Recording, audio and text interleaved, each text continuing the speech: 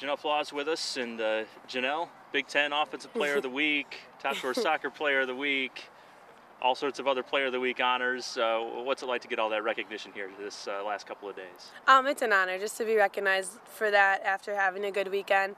Um, it means a lot. I mean, again, I have gone through the injury, so to be at this level, playing that well, and to get recognition like that's just an awesome thing. But it's as much as it's an individual honor, it's a team honor. I can't I can't do those five goals by myself. So um, it may have my name on it, but it's definitely an Illinois Soccer Award.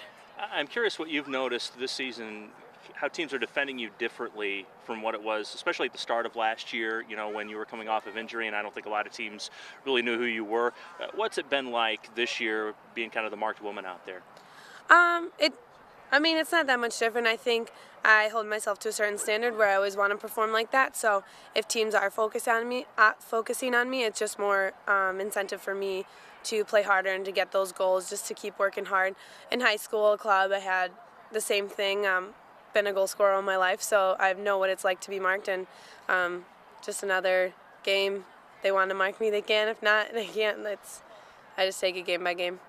Uh, you've had several different front runners with you so far this year. Uh, Catherine's been getting the start up there the last couple of games. Talk about uh, what, what she's brought to the table out there uh, in her freshman season. Yeah, Kat's really hardworking and she's really fast. She's going to put a lot of defensive pressure on teams and she's going to try and find ways to get in behind. So I think her speed plays a lot to her strength and her work ethic. She's always trying to defend, um, always trying to get back and help. So I think that um, has had a huge help with our whole defensive as a team is that um, it, the pressure starts early and it starts high up the field.